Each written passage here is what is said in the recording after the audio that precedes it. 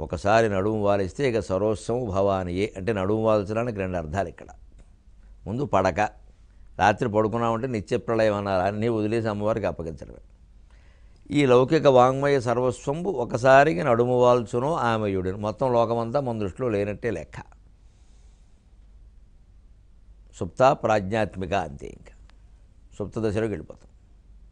సరే దానికి మరణం అనే అర్థం తీసుకున్నా కూడా మొత్తం జీవితానికే మనం నడుము వాల్చేసేమైపోయి అంటే ఇక సర్వస్వం భవానియే. ఆ స్థితి వచ్చేసరికి ఈ లౌకిక వాంగ్మయ సర్వస్వం అంతా ఆవిడ ఒడిలో నడుము వాల్చేలా చూడాలి అంటే జన్మరాహిత్యం కోసమే మనం ప్రయత్నం చేయాలి. రాత్రి పడుకునేటప్పటికి అన్ని విషయాలు మర్చిపోవడానికి ప్రయత్నం చేయాలి.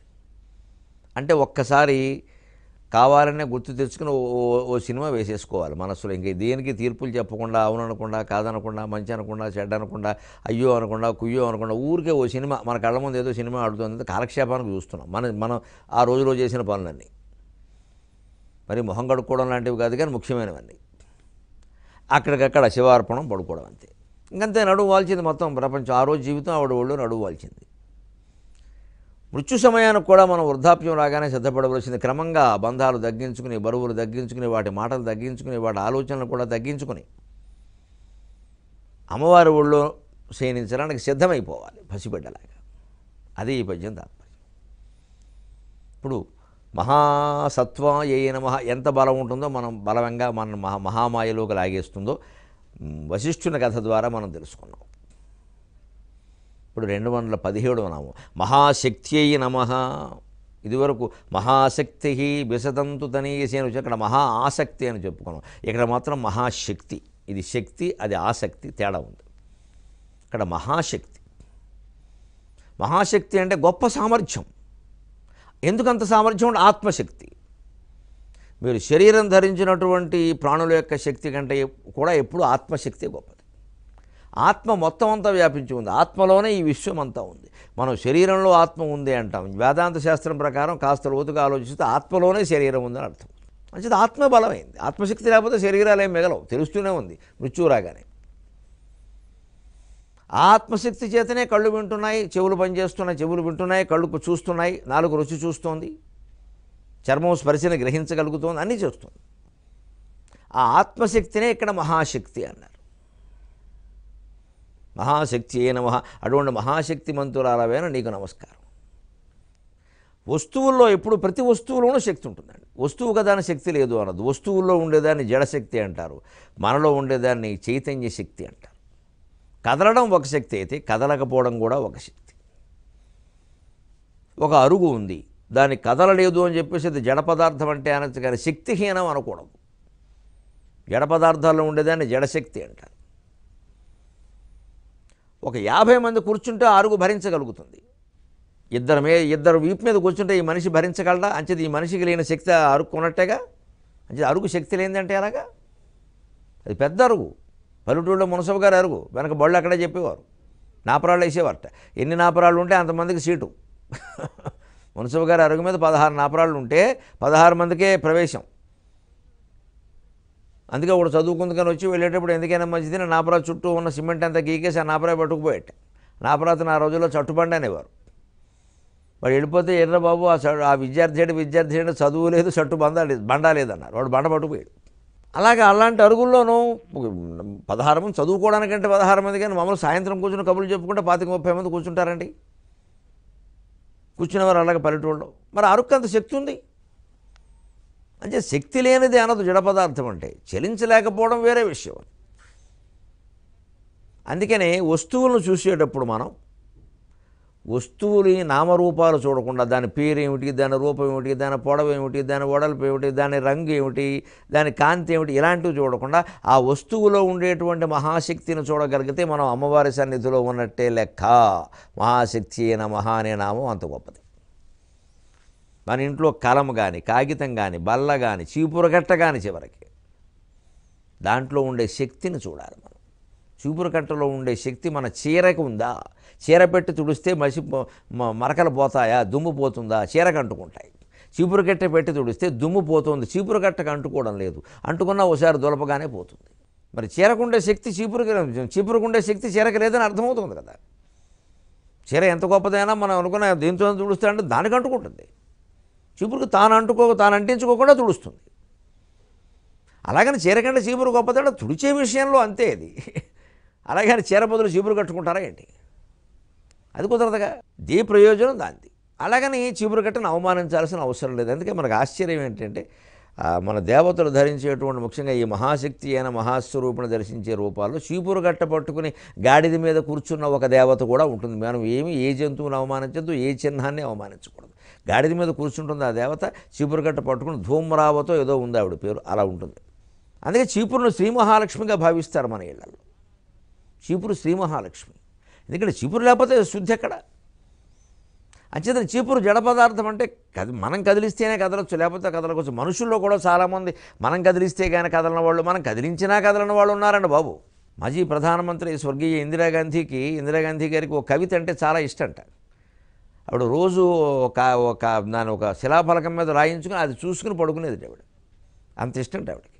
ఏమిటా కవిత అంటే చనిపోయిన వాళ్ళ పట్ల సంతాపం చూపించడం కంటే బతికి ఉండి కూడా తమ కళ్ళ ముందు ఘోరాలు నేరాలు జరుగుతున్నా ఉలక్కుండా పలక్కుండా కూర్చుంటారే వాళ్ళ పట్ల సంతాపం చూపించడం మంచిదని రాసేటప్పుడు. అది పెట్టుకుంది ఆవిడ కవిత. ఆవిడకి నచ్చింది చనిపోయిన వాళ్ళ పట్ల కాదు మనం సంతాపం చూపించాల్సింది. బతికి ఉండి కూడా కళ్ళు చెవులు ఉండి కూడా తమ కళ్ళ ముందు ఘోరాలు నేరాలు జరుగుతున్న మనకెందుకైనా నిర్లిప్తంగా నోరు మూసుకుని కూర్చుంటారే? ఒక మాట మాట్లాడకుండా ఖండించకుండా ఏమైపోతుందో అని భయపడిపోతూను అటువంటి వాళ్ళకి సానుభూతి చూపించండి అని రాసేటప్పుడు ఆ కవిత పెట్టుకుంది ఆవిడ. మరి ఇప్పుడు వీడిని శక్తిమంతుడు అనాలా శక్తిమంతుడు కాదనాలా? మనిషి అంటే అలాగే చీపురు కట్టకి ఈయనకి తేడా ఏముంది? చీపురు కట్ట నయం. కొంత పరిశుభ్రత చేస్తాం అంటే కదిలిస్తే కదలని సమస్య కదా. ఆ మాటకు వస్తే కదిలిస్తే కదలని వాళ్ళు కదిలిస్తే కానీ కదలని వాళ్ళు కదిలించినా కదలని వాళ్ళు మనుషుల్లో ఉన్నారు. మరి వాళ్ళ శక్తిహీనులు అంటావా వాడు వాడు స్వభావం అది. అంచేతన మనం వస్తువులను చూసేటప్పుడు అది దేనికి పనికొస్తుంది అని చూడకుండా దాం దేనికో దానికి పనికి రాకపోతే ఆ వస్తువు ఉండదు కాబట్టి ఆ పనికొచ్చేలా చేసేది అందులో ఉండేటువంటి శక్తే కాబట్టి అది లావు రూపంలో ఉన్నా పొడుగు రూపంలో ఉన్నా వెడల్పు రూపంలో ఉన్నా రంగు రూపంలో ఉన్నా కాంతి రూపంలో ఉన్నా శుభ్రత రూపంలో ఉన్నా ఏ రూపంలో ఉన్నా అది ఒకే స్వరూపం కాబట్టి మహాశక్తి అయిన మహా అని ఆ అమ్మవారి భావంగా భావించాలి. అమ్మవారిగా భావించాలి. అంతేగాని వస్తువుల పేర్లు రూపాలు చూస్తూ కూడా ఆ రూపం వెనక ఆ పేరు వెనక ఉండే దాని లక్షణం ఏమిటి? అదే మహాశక్తి. అంచేత ప్రతి వస్తువులోనూ ఏదో ఒక రకమైన శక్తి ఉన్నప్పుడు ఇప్పుడు శక్తి లేని చోటు లేదు అని అర్థమవుతోందా లేదా? అందుకే శక్తి సృష్టికే మూలమని ఈ నామానికి వ్యాఖ్యానంగా శంకరాచార్య సౌందర్యలహరిలో మొట్టమొదటి శ్లోకమే రాశారు. శివశక్త్యాయుక్తం యది భవతి శక్త ప్రభవితం నచేదేవం దేవో నఖలు కుశల స్పందితుమపి అతస్వామారాధ్యాం హరిహర విరించాదిభిరపి ప్రణంతుం స్తోతుం వా కథమకృత పుణ్య ప్రభవతి. శివ శక్త్యాయుక్తో ఇది భవతి శక్త ప్రభూతం శివుడు కూడా శక్తితో కూడి ఉన్నప్పుడే ఈ సృష్టి చేయడానికి దేనికైనా సమర్థుడవుతాడు. భగవంతుడు కూడా. శివశక్త్యాయుక్తో యుక్తో యది భవతి శక్త ప్రభవితం. బ్రహ్మ సృష్టించాలన్నా విష్ణువు దీన్ని కాపాడాలన్నా రుద్రుడు దీన్ని సంహరించాలన్నా శక్తే మూలం ఆ శక్తే అమ్మవారు. నచేదేవం అలా కాకపోతే దేవో నఖలు కుశలక స్పందితుమపి. ఆ శక్తి కనుక లేకపోతే ఆ దేవుడు స్పందితుమపి న కుశ న కుశల రెప్ప కూడా వెయ్యలేడు. స్పందనం అంటే రెప్పపాటు. అందువల్ల ఏమంటున్నారంటే శంకరాచార్య మొదటి శ్లోకంలో నేను నువ్వు స్తుతించడానికి సౌందర్య లహరి అనే గ్రంథరచన మొదలు పెట్టగానే నాకు ఆ శక్తి నువ్వే ఇవ్వాలమ్మా. నాకు లేదు. ఎందుకంటే అతస్వాం హరిహర విరించాదిభినుతాం. హరిహ అతస్వామారాధ్యాం హరిహర విరించాదిభిరపి హరి విష్ణువు చేత హర శివుని చేత ఆ విరించి బ్రహ్మ చేత బ్రహ్మ విష్ణు మహేశ్వరుడు కూడా కొలిచేటువంటి నిన్ను కథం అకృత పుణ్య ప్రభవతి. తక్కువ పుణ్యం చేసిన వాడు ఎవడైనా కొలవగలడా? ఎంత పుణ్యం చేయాలి? అమ్మవారి మీద మాట్లాడాలన్నా అమ్మవారి స్తోత్రం చదవాలన్నా ఆ స్తోత్రం అర్థం కావాలన్నా ఎంత పుణ్యం చేయాలి? అతస్వాం ఆరాధ్యాం హరిహర విరించాదిపిరవి ప్రణంతం స్తోతం వా కథం అకృత పుణ్య ప్రభవతి. నిన్ను ప్రణంతం నీకు నమస్కారం చేయడానికైనా స్తోతం వా స్తోత్రం చేయడానికైనా తక్కువ పుణ్యం చేసిన వాడు ఎవడు సమర్థుడు కాలేడేమో అంతో ఎంతో పుణ్యం ఎన్నో జన్మల పుణ్యం చేసుకుంటే కానీ భగవంతుని స్థుతి చేద్దామని భగవన్ మార్గంలో నడుద్దామని ఆధ్యాత్మికంగా జీవితాన్ని పునీతం చేసుకుందామని అనిపించదు అన్నాడు ఆయన. అంత శక్తి కలిగింది ఆవిడ. అందుకని ఆవిడని ఆశ్రయిస్తే మనకు ఆ శక్తి వస్తుంది. బ్రహ్మ విష్ణు మహేశ్వరుడు కూడా రెప్ప కూడా వెయ్యలేరు ఈవిడ లేకపోతే అన్నాడు. ఆ శక్తి అంత గొప్పది.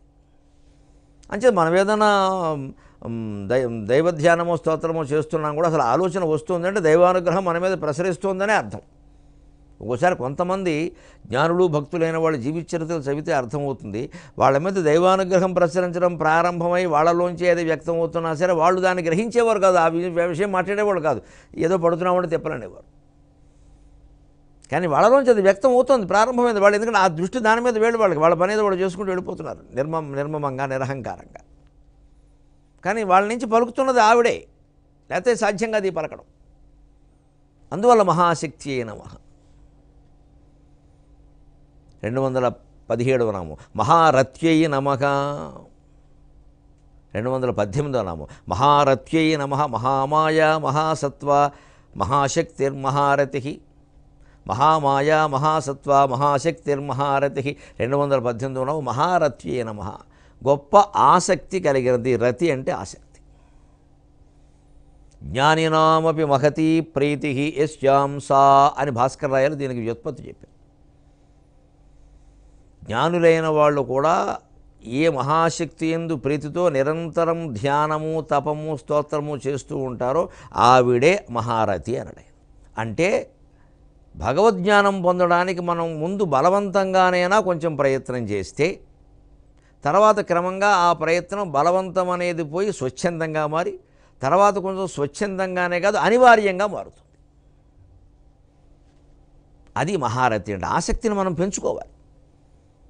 ఏదో ఆవిడ అనుగ్రహం వల్ల కలుగుతుంది కదా అని ఏమీ లేకుండా అలా కూర్చోకూడదు. క్రమంగా పెంచుకోవాలి మనం. జ్ఞానినామపి మగతి ప్రీతి యశ్యాంస విషయాసక్తి కంటే ఎప్పుడూ ఆత్మాసక్తే గొప్పది. లౌకిక ఆసక్తి కంటే భగవదాసక్తే గొప్పది. అందుకే జ్ఞానులైన వాళ్ళు క్రమంగా జ్ఞానం పొందుతున్న కొద్దీ లౌకిక విషయాల మీద ఆసక్తిని తగ్గించేసుకుంటారు. అన్నీ తగ్గించేసుకోవడమే ఇంకా డబ్బు వద్దు ప్రచారం వద్దు పుస్తకాలు వద్దు ఏమొద్దు ఆ ధ్యానంలో ఉంటే చాలు. అని క్రమంగా మనుషులు ఏర్పడిపోతున్న ఆ ధోరణి ఏర్పడని వాళ్ళు అదే సరైన మార్గం. అలా ఏర్పడిన వాడు అదృష్టవంతుడు. ఎవరి ఎందు అంత మహత్తరమైన ప్రీతి ఏర్పడుతుందో ఆవిడే మహారథి అన్నారు. ఆ ఆసక్తి ముందు మిగిలినవన్నీ దిగదుడిపోయిపోతాయి. ఏమీ తోసవసలు విషయాలు ఇవి కూడా వద్దండి ఇది ఎందుకండి దీనివల్ల ఏం ఉపయోగం అంటాడు. ఇంకా భగవత్ సంబంధమైన మాటలు తప్పితే ఏది నచ్చదు అసలు. అప్పటికి అతనికి అర్థమైపోయింది. అందుకని ఇంకా లౌకిక భోగాల కోసం లౌకికమైన వాంఛల కోసం ఆ స్త్రీని కానీ ఆ పురుషుడిని కానీ ఆ గురువు అన్నవాడిని మనం ఇబ్బంది పెట్టకూడదు. వారు ఏదైనా అడిగితేనే లేకపోతే ఏమో ఏ నాకేం వద్దంటే వదిలేయాలి ఇంకా. మా కోసం అండి మా కోసం అండి మా కోసం అండి అని ఈ ఒక్క కాజా అండి ఒక గులాబ్ జామ్ అండి మీకోసం తీర్చామండి. మీరు కొంచెం తిని మాకు పెట్టండి. ఈ నైవేద్యాలు మా జాతరలో వాడి దగ్గర కుదరవు. రమణ మహర్షి దగ్గరికి ఎవరో ఇలాగే మంచి వే వేరుశనకాయ గుళ్ళు వేయించి పట్టుకొచ్చారట. ఆయన అక్కడ పక్కన పెట్టాడు ఈ పట్టుకొచ్చినవాడు అలా చూస్తుంది ఆయన ఎప్పుడు తింటాడు ఇప్పుడు కావాల్సింది ఆయన జ్ఞానం అక్కర్లేదు ఆయన బోధ అక్కర్లేదు ఆ వెరిసిన గుళ్ళు ఈయన తినడం కావాలి. ఎందుకంటే ఆయనకి పెడితే పుణ్యం ఆయనకి పెడితే పుణ్యం. ఈ వెరిసిన గుళ్ళు ఆయన తినాలి అందులో కొంచెం ప్రసాదంగా ఆవిడకి ఇవ్వాలి అది పట్టుకెళ్ళి మనవరాలకు పెట్టాలి. ఆవిడ తాపత్రయం అది. ఇలాగే ఉంటారు.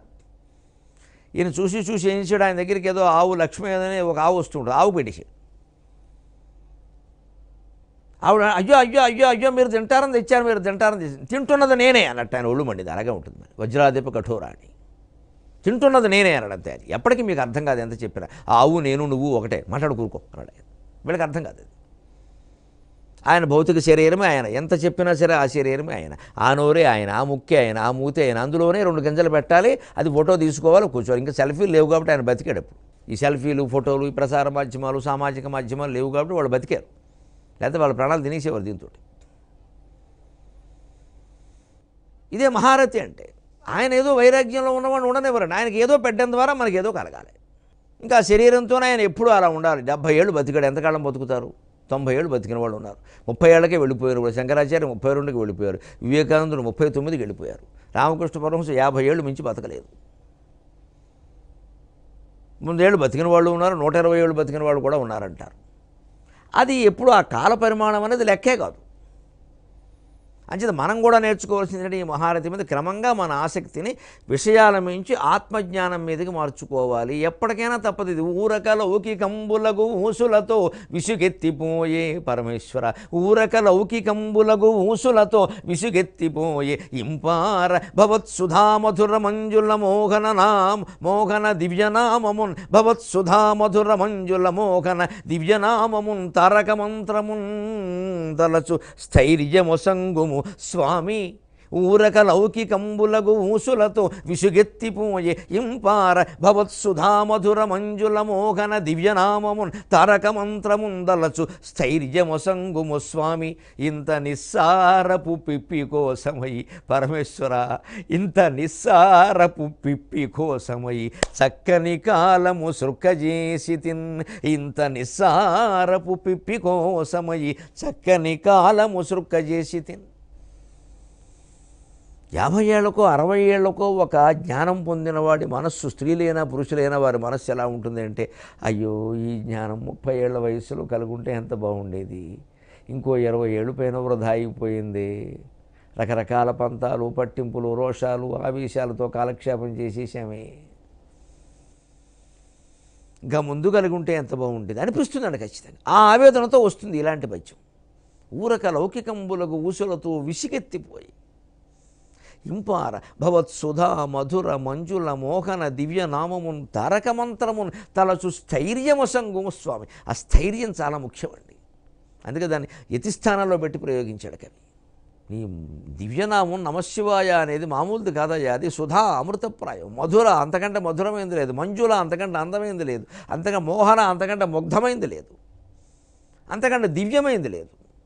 సుధా మధుర మంజుల మోహన దివ్యనామమును తారక మంత్రమును. ఈ జీవులందరినీ తరింపజేసేది అది ఒక్కటే తలచు స్థైర్యం కోసం తలుచుకోవడం సమస్య కాదు. ఓ మూడు సార్లు నమశివాయ అనగానే మక్క పక్కనేమో నక్క మీద కడుతుంది మనసు నక్క దోసకాయ మీదకు. ఇదే స్థైర్యం లేకపోవడం అండి. ఆ స్థైర్యం ఇయ్యవయ్యా స్వామి స్థైర్యం ధైర్యం కాదు స్థైర్యం. ధైర్యం ఉంటే స్థైర్యం వస్తుంది. ఎందుకంటున్నాడు ఆవేదనతో అంటే కవి ఇంత నిస్సారపు పిప్పి కోసం ఈ చక్కని కాలము సృక్క చేసింది. ఏమీ లేని పనికి మాలిన వ్యవహారం కోసం అరవై ఏళ్ళు వృధా చేసేసానయ్యా ఇందులో ఎంత సార్థకమైందో నాకే తెలియట్లేదు. ఎన్నో ఉద్యోగాలు చేసి ఎన్నో సంస్థలు పెట్టి ఎన్నో రకాలుగా మార్పులు చేసి తీర్పులు చేసి ఓ రకరకాలుగా పట్టింపులకు పోయి పంతాలకు పోయి రాగద్వేషాలకు పోయి కామ క్రోధ మధ లోభ మద ఏ ఒక్కదాన్ని వదిలిపెట్టకుండా అన్నింటినీ అంతు చూసేసి అయిపోయాక తెలుస్తుంది ఇది. అది మనం కనీసం యాభై ఏళ్ళకి కాదు అరవై ఏళ్ళకి గ్రహించగలిగినా మంచిదే. ఎందుకంటే ఎనభై ఏళ్ళకు కూడా గ్రహించలేని వాళ్ళు తొంభై ఏళ్ళకు కూడా గ్రహించలేని వాళ్ళు. ఇంకా నోళ్ళు పళ్ళు లేక నేను జంతికలు తినలేకపోతున్నాను ఎవరైనా పొడిం చేసి పెట్టండి జంతికలు అనేవాళ్ళకంటే మన నయం. పళ్ళు లేనప్పుడు మానేరాదా? పొడిం చేసి పెట్టడం ఎందుకు? కర్మ కాకపోతే రెండు వందల పద్దెనిమిదో నమో మహారథ్యయ నమ అన్నారు. మనకు ఆసక్తిని మనం ఆత్మజ్ఞానం వైపు పెంచుకోవాలి. విషయాసక్తి ఎంతసేపు ఇది ఆ విషయాలు ఏవైనా ఆలోచించుకోండి ఏదో రకంగా మనస్సును బాధ పెట్టేస్తుంది. ఇది కాస్త సుఖమైన ఆలోచన కదా అనుకో సుఖం ఎంతసేపు? మనం ఒక రోజు జీవితాన్ని కాస్త క్షుణ్ణంగా పరిశీలించిన అందులో ఖచ్చితంగా సుఖాల కంటే దుఃఖాలే ఎక్కువ ఉంటాయండి. వంద సుఖాలు అమాంతం కూడగట్టుకుని వచ్చిన మన మనస్సులో ఉన్న ఒక దుఃఖాన్ని పోగొట్టలేవు. కానీ వంద సుఖాల్లో మనం మునిగిపోయి ఉన్నప్పుడు ఒక్క దుఃఖ వార్త తెలిసిన ఈ వంద సుఖాలు ఎగిరిపోతున్నాయి. దుఃఖం ప్రభావం ఎంతో గ్రహిద్దాం దుఃఖం ప్రభావం ఎంతో గ్రహిద్దాం. వంద సుఖాల్లో మనం వంద దుఃఖాలు ఒక ఒక దుఃఖంలో మనం ఉన్నాం.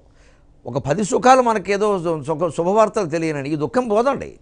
ఇది ఇది పోవడానికి ఇంకొద్దు రావాల్సిందే. అలా అలా ఇంకొంచెం ముందు జరిగితే ఎంత బాగుండమ్మా అని ఈ దుఃఖమే ఉంటుంది. ఆ సుఖం సుఖం ఉండదు. జరిగేది ఏదో జరిగింది ఇంకొంచెం ముందు జరిగితే ఎంత బాగుండు. వాడు ఉండగా జరిగితే ఎంత బాగుండు అయితే వాడికి ఏదో ఉండగా వాడికి ఈ ఉద్యోగం రాకముందు అది వస్తే ఎంత బాగుండు. ఇలా ఏదో మొత్తం మీద. ఆ వచ్చిన సుఖాన్ని ఆస్వాదించలేకపోతున్న ఉన్న దుఃఖం కారణంగా. ఒక దుఃఖంలో మనం ఉన్నప్పుడు వంద దు సుఖాలు వచ్చినా సరే ఈ దుఃఖాన్ని ఆ వంద సుఖాలు పోగొట్టలేవు. కానీ ఆశ్చర్యం ఏంటంటే వంద దుఃఖం వంద సుఖాల్లో మనం ఉన్నప్పుడు ఒక్క దుఃఖం వచ్చి వంద సుఖాలని తుడిచిపెట్టేయగలుగుతాం. దుఃఖం ప్రభావం ఎక్కువ. అంతేకాదు విచిత్రం. ఒక దుఃఖంలో మనం ఉన్నప్పుడు ఇంకో దుఃఖం వస్తే ఈ దుఃఖం పోతుంది. దుఃఖం ప్రభావమే ఎక్కువ. దుఃఖం ప్రభావమే ఎక్కువ. అంచేతనే జీవితంలో చూసినట్టయితే సుఖం కంటే దుఃఖం ప్రభావమే ఎక్కువ. మరి ఇంక దేని గురించి లౌకిక తాపత్రయాలు పడతాం మనం? పేరని డబ్బని ఏదో ప్రచారమని బంధువులని మిత్రులని రకరకాల ఏదో ఇంకా బాధ్యతలని బరువులని మన పేరు మనకు ఏదో గుర్తింపు పది మందిలో. మనం వెళ్ళగానే లేచి నిలబడడం. ఇదంతా లేదు. ఎవరైనా సరే ఏమండి మీరు ఇదివరకు ఏదో సినిమాలో నటించేవారు కదా ఈ మధ్య నటించే అవునండి నటించట్లేదు. నాకు ఇష్టం లేదు. అవకాశం వస్తే నటిస్తా లేదు. ఇలా చెప్పలేరండి చాలామంది. లేదండి ఒక నాలుగు సినిమాలు నా చేతిలో ఉన్న చేతిలో లేవు జేబులో లేవు. ఎందుకు వచ్చిన గొడవ ఇది? చేతిలో ఉండవేటి ఏం లేదు పాపం ఆయనకి ఏదో అవకాశాలు తగ్గాయి. ఆ మాట ఒప్పుకోవడం ఇష్టం లేదు. వీళ్ళు పలకరించేవాళ్ళు పోనీ. పోని ఈ గొడవ ఎందుకండి? మీరు నటించిన సినిమాలో పలానా సినిమాలో మాకు అది బాగా నచ్చిందని అని ఒక మాట చెప్తే పోలా? కూర్చోచ్చుగా ఈ మధ్య మీరు నటించట్లేదండి. నలుగురు అడిగేసరికి వాడికి అహం వచ్చేస్తుంది పాపం బాధ వచ్చేస్తుంది. నేను అందరూ రాలేకపోతున్నాను నేను అందరూ చివరి నలుగురిలోకి రావడం మానేస్తాడు. మన పలకరించే విధానంలో ఉన్న తేడా ఉండాలండి అసలు.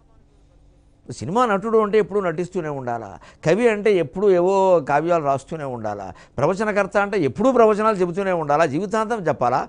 పాలు ఇవ్వకపోతే ఆవుకింత గడ్డి వేయరండి? పాలు ఇవ్వడం మానేసింది. అవి ఇంత గడ్డి వేయరామా? వదిలేస్తారా? ఇంతకాలం ఇచ్చిందిగా పాలు పాపం? ఎవరైనా అంతే. ఓ మంచి కళాకారుడు ఉన్నాడు ఏదో కొంతకాలం ఓ ముప్పై ఏడు చేశాడు. తర్వాత ఓపిక లేదు అవకాశాలు తగ్గాయి అస్తమానం ఉంటాయా? మానేశాడు. అయినా కానీ ఆయన కనపడగా ఏమండి మీరు మానేస్తే మానేశారండి మీ పాత్రలు మేము మర్చిపోలేమండి. అంటే సంతోషిస్తాడు. అంతేగాని ఏమైనా మంచివాళ్ళకి స్థానం లేదండి. ఇవి ఈ వ్యాఖ్యానాలైనా అనవసరం అండి ఇంకా. ఇక్కడే మనం ఈ ఆసక్తిని ఈ లౌకిక ఆసక్తిని మనం పెంచుకోకూడదు ఎవరికి పెరగనియకూడదు. ఎవరైనా లౌకికమైనటువంటి బంధాలు తెంచుకునే ప్రయత్నం చేస్తే ఆ దృష్టవంతుడు అందరూ తెంచుకోగలరా అనే మాట్లాడాలి. అదే ఆ మహారథి మహా ఆసక్తి ఎప్పుడు ఆత్మవైపు ఉండాలి తప్ప ఈ రకంగా కాదండి. మహామాయ మహాసత్వ మహాశక్తిర్ మహారథి. మహావీర్య మహాబల మహాబల మహా మహాభోగ మహేశ్వర్య మహావీర్య మహాబల. మహాభోగాయై నమ. రెండు వందల పంతొమ్మిదో. మహాభోగాయై నమః. మహాభోగములు కలిగినది మనకి ఇవ్వగలిగింది. గొప్ప ధనం గొప్ప సుఖం. భోగం అంటే అర్థం అది. గొ- భోగం అంటే ధనం సుఖం. ధనం వలనే కదా సుఖం అనుకుంటాం మనం. కాదు అవుదో తర్వాత తిరుగుతాం ధనం వలనే సుఖం అనుకుంటాం కదా ధనం ఉంటే సుఖంగా ఉంటాం అనుకుంటాం. అందులో ఈ రోజుల్లో ఇంకా బాగా పెరిగిపోయింది. అంటే మహాశబ్దం శబ్దం మహత్తర శబ్దం అనే మహత్శబ్దం అనేది ఒకటి ఉంది కాబట్టి మహాభోగం అంటే మనం భోగం అంటే ధనము అని అర్థం చెబితే మహాభోగం అంటే గొప్ప ధనం అవుతుంది. లేదు భోగం అంటే సుఖం అని అర్థం చెబితే మహాభోగం అంటే గొప్ప సుఖం అవుతుంది ధనం ఉంటే సుఖాలు వస్తాయి అనుమానం ఏం లేదు. వస్తాయి మామూలు భౌతిక సుఖాలు ఏవో నాలుగింట్లో నాలుగు మంచి పరుపులు మంచాలు సోఫాలు ఏవో సొంత కారు ఇవన్నీ ఉండడం డబ్బు వల్లే సాధ్యం అవుతుందిగా కానీ ఆ సంస్కృత భాష గొప్పతనం ఎక్కడ ఉండదో ఆ భోగం అనే మాటను మనం గమనించాలి. భోగం అంటే ఏదో భోగం పట్టింది వైభవం అనుభవిస్తున్నాడు అది అదొక అర్థం. పాము పడగా అని అర్థం ఉంది భోగం అంటే. ఆ భాష గొప్పతనం ఏది? ఆ రెండో అర్థం ద్వారా రెండు పారిశ్వాలు చూపిస్తారు. మనం భోగం అనుభవిస్తున్నప్పుడల్లా ఏ దృష్టితో ఉండాలి అంటే భాగ్యం బుల్ భుజంగంబులవు అని సాగర ఘోష కావ్యంలో రాశారు. భాగ్యంబుల్ భుజంగంబులవు కవిరాజుల్ కనకాభిషేకముల భోగం బందుదోగాడిజున్ అవసానంబున కష్ట నష్టముల పాలై ఏడ్చి ఏడ్పించుటల్ కవిలోకంబునకొక్క పాఠమగు భాగ్యంబుల్ భుజంగంబులు అని శ్రీనాథుని కథను వివరిస్తూ రాశారు. కవిరాజులు శ్రీనాథుడు లాంటి వాళ్ళు కనకాభిషేకం వల్ల భో భోగాల్లో ఉన్నారంటే మనకు ఆనందంగానే ఉంటుంది. కానీ అవసానంబుల కష్ట నష్టముల పాలై ఏడ్చి ఏడ్పించుటం కవిరాజుల్ కనకాభిషేకముల భోగం బందు దోగాడియున్ భువి రాజుల్ తమ బుద్ధి మార్చుకొని సొమ్ముల్ కోరి బాధింపగా అవసానంబున కష్ట నష్టముల పాలై ఏడ్చి ఏడ్పించుటల్ ఈ కవిలోకంబునకొక్క పాఠమగు భాగ్యంబుల్ భుజంగంబులు. కవిరాజులు శ్రీనాథుడు లాంటి వాళ్ళు రెడ్డి రాజులు ఆదరించినప్పుడు బ్రహ్మాండంగా ఉన్నాడు. తర్వాత రాజులు ఆదరించలేదు ఆయన కర్మ. వాళ్ళ కర్మ కూడా ఒక రకం. కవిత్వాన్ని ఆదరించిన రాజు రాజా. సాహిత్యం సంగీతం ఉంటే ఇష్టం లేకపోతే వాళ్ళు రాజులు పరిపాలకులు ఎలా అవుతారని పూర్వకాలం రాజులు ఎవరు అలా ఉండేవారు కదండి. వాడు పరిపాలన కంటే కూడా సంగీత సాహిత్యాలకి పెద్దపీట వేశారు. ఎందుకంటే మనుషులని ఏ పోలీసులు ఏ చట్టాలు ఏ న్యాయస్థానాలు అవసరం లేకుండా మార్చగలిగినవి సాహిత్యం సంగీతం. సంగీతం ముందు మనిషిని మృదువుగా చేస్తుంది. సాహిత్యం ఆ మృదువైనటువంటి హృదయం మీద ముద్ర వేస్తుంది. ఆ మృదువైన హృదయం మీద ముద్ర వేస్తున్నారు. ఇక బొబ్బట్లు ఉండేటప్పుడు చూడండి ఇలాగ మైదా పిండి ఇలా సాగదీసి మధ్యలో ఆ పిండి అలా పెట్టి అలా పెట్టి అలా అలా అలా చక్కగా ఇలా ఒత్తుతారు ఆడవాళ్ళు. అది ముద్ర అంటే అది. ఆ మృదువైనటువంటి బొబ్బట్ల పిండి మీద ముద్ర పడితే చక్కగా ఉంటుంది బొబ్బట్లు. అలాగే సంగీతం ముందు మనిషిని మృదువుగా చేస్తుంది. సాహిత్యం ఒక ముద్ర వేస్తుంది. అంటే సంగీత సాహిత్యాలు రానివాడిని కొమ్ములు లేని పశువు అన్నారు. కొమ్ములు లేని పశువు అన్నారు. సంగీత సాహిత్యాలు స్వయంగా రావక్కల అభిరుచి ఉంటే చాలు. సంగీత కచేరీ జరుగుతుంటే వెళ్ళి వెళ్ళి వినాలి. ఆ, ఏం వింటాం? ఏమిటి అర్థం? సంగీతం అర్థం అవడం ఏమిటం ఆ పాత మధురం. ఆ పాత అయితే మరీ మధురం. సాహిత్యం అలాగే మనకి ఏదో చెప్తే ఏం వెళ్ళాలి? ఒకసారి కాకపోతే రెండుసార్లు వింటే అర్థమవుతుంది ఇవాళ మొత్తం అసలు సాహిత్యం అనేది కనపడకుండా పోయింది. మొత్తం అంతా ప్రవచనం ప్రవచనం పురాణం పురాణం పురాణం అంతే ఇంకా. ఇంకా సాహిత్యం తెలిసిన వాళ్ళు అవధానాలు చేసేవాళ్ళు కూడా ఇదే మొదలెట్టారు ఇంకా. బాగుంది కదా సుఖంగా ఉంది. ఏ అవధానం అంతా చాలా కష్టపడాలి ఈ ప్రవచనానికి ఏముంది కష్టం ఏదో అనుకుంటే చెప్పడమే. పైగా ఏం చెప్పినా వింటారు. అలాంటి వాళ్ళు బాగా తయారైపోయారు. శుభ్రంగా ఇలా దండాలు పెట్టుకుని కూర్చునే వాళ్ళు ఇంకేం చేస్తారు? అవి ఏం చెప్పినా వింటారు. వాళ్ళకి ఏం చెప్పినా పర్వాలేదు. సాహిత్యం అలా వినలేరు. అవధానం అలా చూడలేరు. ఆలోచిస్తారు కాస్త. ఏమిటి ఆయన వేసిన పదం సరైందే కదా? దత్తపద సరిగ్గా చేశాడా? సమస్య సరిగ్గా చేశాడా? ఏమిటిది? అని చూస్తారు కాస్త. ప్రజ్ఞ ఉంటేనే అవధానంలో గౌరవిస్తారు. లేదా లేని వాళ్ళు అవధాన రంగంలో సాహిత్య రంగంలో నిలబడలేరు. ఒక కవి మంచి కావ్యం రాస్తే బాగుంటే చదువుతారు ఇంకో పుస్తకం రాశారని అడుగుతారు. లేకపోతే మొదటిదే వదిలేస్తారు చదవరు ఇంకా. తర్వాత ఏమైనా రాశామంటే ఆయనే పట్టుకొచ్చి ఇచ్చినా పక్కన పెట్టేస్తారు ఎవరైనా పక్క వాళ్ళ తర్వాత బయటికి వెళ్ళగానే ఎందుకు ఆయన రాస్తూ ఉంటాడు ఏడాది కోటి ఊరికే పని లేక. క్యాలెండర్ ఇస్తూ ఉంటారే అలాగే ఈయన పుస్తకాలు ఇస్తూ ఉంటాయండి ఎందుకండి పని లేక? అంటారు సాహిత్య సంగీతాలకు ఆ విచక్షణతో చూసే అలవాటు ఉంటుంది ఈ ప్రవచనం ఎలా తయారైపోయిందంటే ఏమీ లేదు ఇంకంతే అందులో మా అయో మహిమ చెబితే చాలు ఇంకా. అది వింటేనే పుణ్యం అనే ధోరణ ఎప్పుడైతే వచ్చిందో అందులో సబ్జెక్టు దెబ్బతినేస్తుంది విషయం దెబ్బతినేస్తుంది. రసజ్ఞులైన వాళ్ళు లేకపోతే ఇబ్బంది అది. రసజ్ఞతే ఉండాలి మనుషులు. అదే ఇక్కడ లెక్క చూడండి భోగం అంటే నిజానికి పడక రెండో మాట ఎందుకు శ్రీనాథుడి జీవితమే ఉదాహరణ. ఎన్ని భోగాలు అనుభవించాడు అవసాన దశలో అన్ని కష్టాలు అనుభవించాడు. అంచేత భోగం అంటే పాము పడకని కూడా అర్థం ఉంది కాబట్టి సుఖం ధనం వల్ల వస్తుందనుకోవడం పొరపాటు.